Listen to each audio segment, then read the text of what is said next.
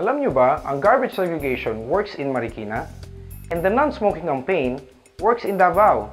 We enjoy this harmonious, healthy, and sustainable environment because of the support, cooperation, and respect of the community. Sa ating negosyo, pwede nito mangyari with the help of SRP. Learn more now about SRP and have a secured, regular, and protected profit.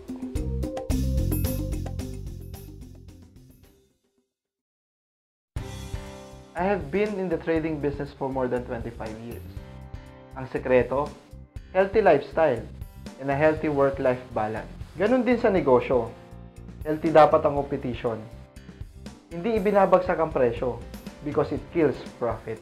That's why we need SRP. It gives secured, regular, and protected profit. If you want to experience this, ask for SRP.